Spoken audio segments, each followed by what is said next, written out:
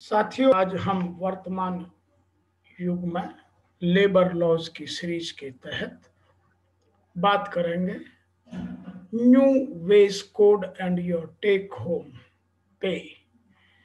अभी भारत सरकार ने वर्ष 2019 और वर्ष 2020 में चार लेबर कोड श्रम संहिताएँ पास की हैं, जिनमें केंद्र सरकार ने अपने रूल्स बनाकर पब्लिश कर दिए हैं और इनको प्रेसिडेंट ऑफ़ इंडिया से भी पास करा दिया है। स्टेट गवर्नमेंट्स राज्य सरकारें अपने अपने रूल्स अपने अपने नियम बना रही हैं। अभी शीघ्र ही इनका पालन होने वाला है। इनकी डेट है एक अप्रैल, क्योंकि हमारा नया फाइनेंशियल ईयर एक अप्रैल से स्टार्ट होने वाला है। इसमें ध्यान देने योग्य बात यह है कि अब हमारी बेसिक सैलरी टोटल सीटीसी की 50 परसेंट हो जाएगी। इससे क्या होगा कि हमारी जो टेक होम पे है, वो घट सकती है यदि हम हायर इनकम सैलरी ग्रुप में आते हैं।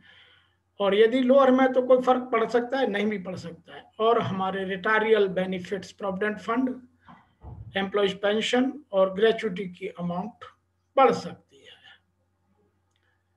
इनके इम्प्लीमेंटेशन हो जाने से जो वेज की नई डेफिनेशन है, जिसमें बेसिक डियरनेस अलाउंस और सभी अदर अलाउंसेस जिनमें कुछ एक्सक्लूड कर दिए गए जैसे house rent allowance statutory bonus over time allowance conveyance और कमीशंस इसका मैंने कुछ उदाहरण दिया है, जो इंक्लूजन्स हैं, वो हैं बेसिक पे डीएनएस अलाउंस रिटेनिंग अलाउंस और जो स्पेटिफाई एक्सक्लूजन्स हैं, वो हैं statutory bonus value of house accommodation and utilities या light water medical etcetera employees contribution toward provident fund conveyance allowance sum paid to defer special work expenses house rent allowances remuneration table under settlement, overtime allowance,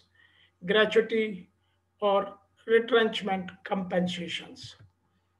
New, इससे क्या बदलेगा? Number one आपकी basic और DNS मिलकर आपकी total CTC की 50 percent हो जाएँगे। नंबर दो, आपका प्रोविडेंट फंड कंट्रीब्यूशन और फैमिली फंड का कंट्रीब्यूशन और ग्रेचुटी की कंट्रीब्यूशन जो आपकी सैलरी से सीटीसी का हिस्सा है, वह बढ़ जाएँगे। क्योंकि ये तीनों चीज़ सोशल सिक्योरिटी में आती हैं। मैंने एक इसका उदाहरण भी दिया है।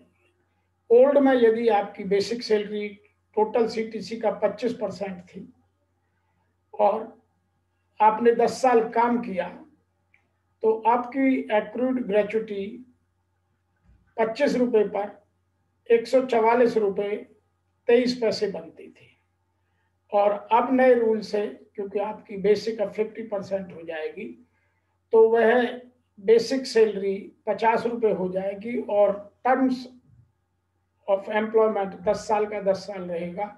आपकी एक्रूड ग्रेचुटी अमाउंट दो सौ अट्ठासी रुपये छियालीस पैसे। इसका मतलब आपकी percentage increase in accrued gratuity hundred percent हो जाएगा।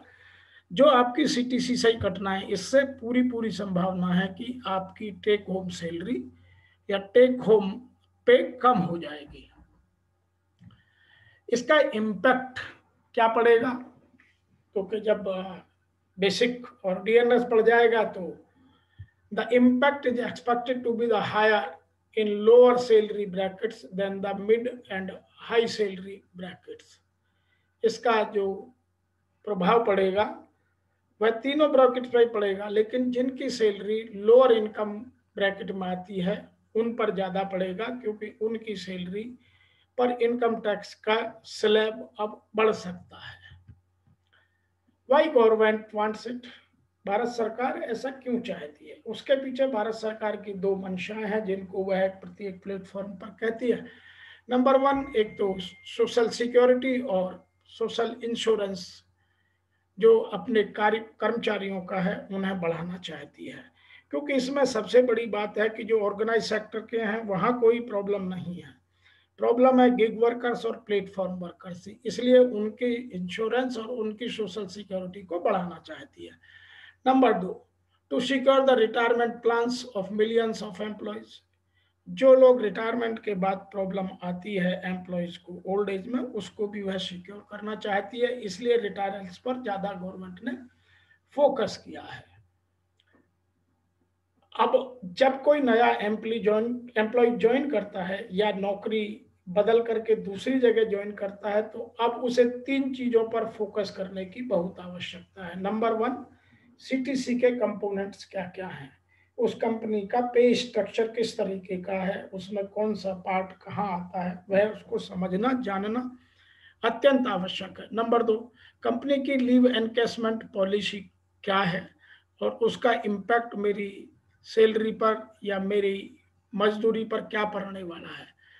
नंबर तीन है, जो लेटेस्ट भारत सरकार के इनकम टैक्स रूल्स हैं, वो वर्तमान में क्या क्या और कैसे और कितने परसेंट तक एप्लीकेबल हैं, वह तीनों समझना अब आवश्यक हो गया है।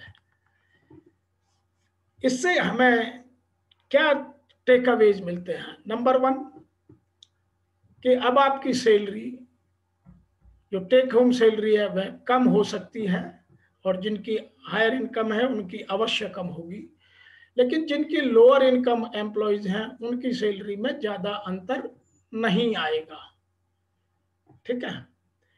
नंबर दो है the allowances offer to the employee can not be lesser than 50 percent of the gross salary तो अब जो होंगे, वो केवल 50 परसेंट तक ही होंगे, उससे ज़्यादा आप अलाउंसेज नहीं दे सकते। बेसिक और डियरनेस आपकी अब 50 परसेंट तक होगी, जिससे आपके अदर बेनिफिट्स खत्म हो जाएँगे और इनकम टैक्स की रेंज में आप आ जाएँगे। नंबर तीन है after the new code gratuity and monthly provident fund company deemed to alter ये दोनों अब बढ़ जाएँगे।